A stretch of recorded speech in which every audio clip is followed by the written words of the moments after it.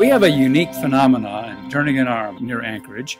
It's called a bore tide. It's a phenomenon that occurs here because we have a kind of a special shaped inlet. There are only two inlets in all of North America that are shaped like this. The Bay of Fundy in Nova Scotia and Turnagain Arm, right just south of town. And we have a shallow, narrow, and long inlet. And because it's so shallow, narrow, and long, it's just the right length to create kind of a, a sloshing effect of the tides. Well, all tides we know come in for six hours and then they go out for six hours. Well, this is such a long inlet that the tide that's going out collides with the surge of the new tide that's coming in, and that creates a surf wave.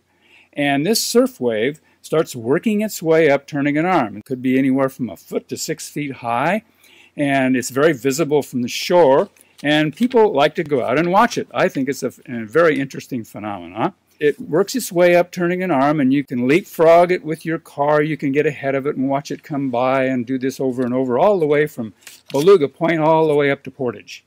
There are a couple of favorite places I have between Bird Point and Girdwood. There's a little stretch of road in there where the bore tide is almost always at its best. There are people with surfboards and surf kayaks that like to go out and challenge themselves to see if they can ride this wave. The only thing is, if they miss the wave, they're going to have to wait another 24 hours before they get another good tide to ride. So it's one shot wave. Now you might want to know, how do I know how to time this bore tide? Well, there's a schedule of tides. You can get it in a regular tide table, and we have it on a brochure here at the Public Land Information Center and it will tell you when low tide in Anchorage is.